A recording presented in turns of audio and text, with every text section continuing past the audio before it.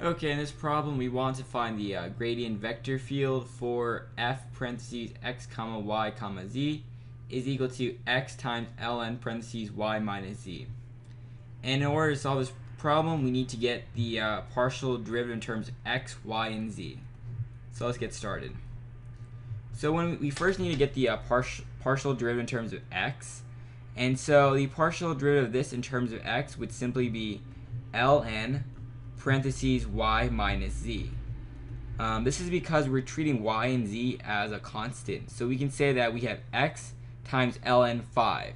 If we have x times ln 5, the derivative would simply be ln 5. But instead of 5, we write y minus z.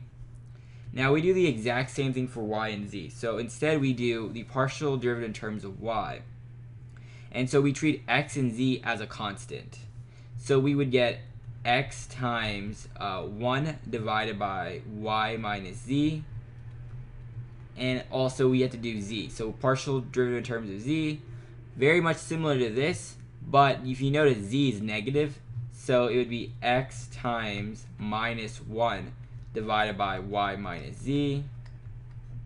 And just to make it clear, we can write it like this. So ln parentheses y minus z comma x divided by y minus z, comma, negative x divided by y minus z. And this is our final answer. And that's all we need to do.